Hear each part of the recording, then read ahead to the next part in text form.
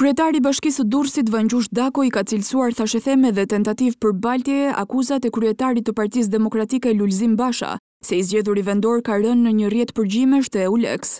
Sipas kryedemokratit, në dosjen e përcjellë në Gjykatën e Krimeve të Rënda në Tiranë, Dako është përgjuar duke biseduar me elementë kriminalë për blerje votash gjatë fushatës për zgjedhjet parlamentare të vitit dy mijë e shtatëmbëdhjetë. Por kryebashkiaku, teksa mohon akuzat dhe përsërit qëndrimin se është gati të përballet me çdo proces e njeri për këtë çështje, thekson se sulmet ndaj tij lidhen pikërisht me rezultatin e dobët që opozita mori në Durrës.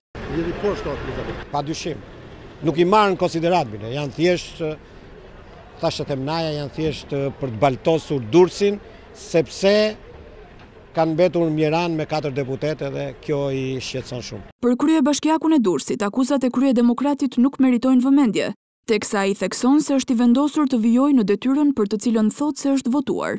Nuk ia vlen që të merremi me pafundësisht me këtë temë. Unë e kam dhënë përgjigjen time, jam shumë i qetë, vazhdojmë punojmë në dobi të qytetarëve dhe ne punojmë, nuk merremi me llafe.